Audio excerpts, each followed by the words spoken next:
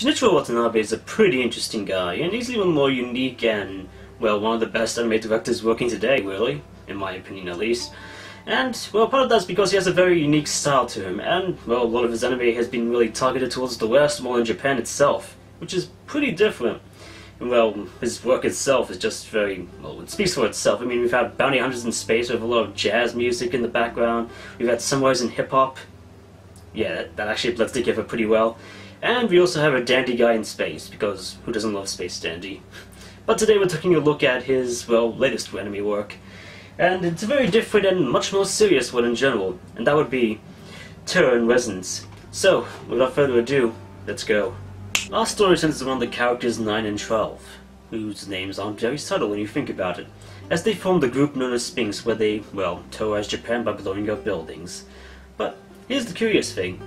And before they well blow up the buildings, they upload a video to YouTube for the police to see, where they warn of the bomb and, well, give away a riddle of where the bomb could possibly be so the police could possibly grab it. But if the bomb does go off, then the building it's in, well, gets evacuated long beforehand, meaning that, well, people still get injured, no one actually dies. Which adds just, well, a lot of moral ambiguity to it, on what these two characters intend to do by blowing up all these buildings. And then to top it all off, a classmate of theirs from the school they transferred into, Lisa Mishima, well, well, Lisa has a bit of a hard life, and, well, just a very, well, obsessive mother. And things are about to get a lot more complicated for her when she runs into 12 when they're about to blow up their first building. And then is left with the choice of either dying where she stands or becoming an accomplice, and realizing she doesn't want to die, she agrees to become the accomplice. And thus begins a long and troubled tale of, well, buildings blowing up, a lot of intrigue, a certain police detective named Shibazaki trying to figure out what these guys want, and the Americans getting involved. There's an FBI agent named Five who has a bit of a past with these two, thus they also go after them herself. And, well, things are going to be very complicated. Yeah.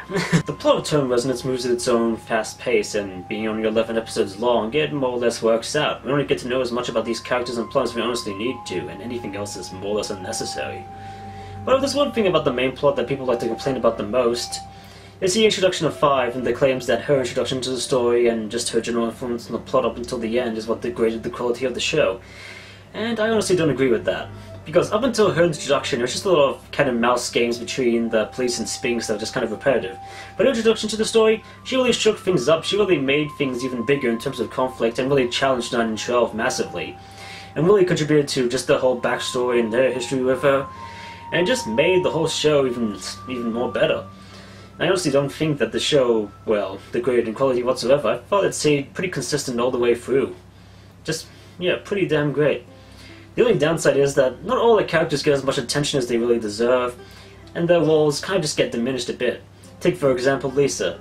Despite being, well, hired as an accomplice, well, she doesn't actually get to do that much accomplice work and some would argue that she doesn't really contribute all that much to the show in general, and is generally useless. And that's something I still don't agree with whatsoever, because her relationship with 12 is pretty well done, and just really indicative of their characters and their just general lives.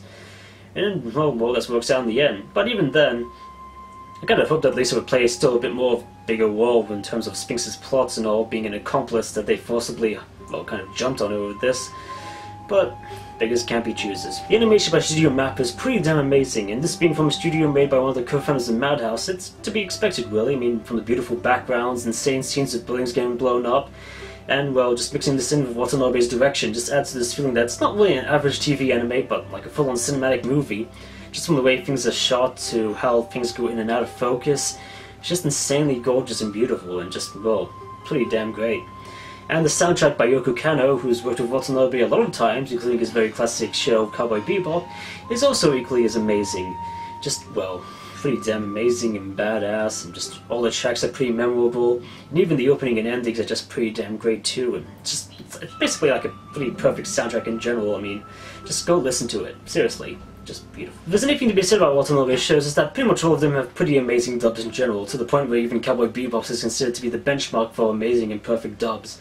And Terror in Resonance keeps up this streak. Funimation's dub is just amazing in general, and everyone involved just really shows how much they care. I mean, Chris Bevins, who does the ADR directing and voicing 9, Aaron Dismuke 12, Jade Saxton as Lisa, Robin McCollum as Shibazaki, and Jamie Marchi as 5.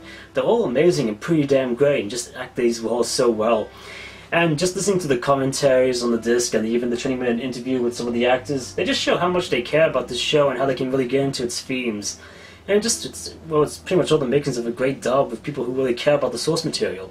And, oh, it's just amazing, so, well, just go listen to it. Overall, Terror in Resonance is a, well, not a perfect show, but it's still a pretty damn great one, and a pretty good gateway anime too, so to speak. Just all the elements of art, animation, plot, characters, the soundtrack, the dub, mixed in with Watanabe's amazing direction, it just makes to create a pretty attractive show, well, an attractive package really, and one that I heartily recommend that you go watch.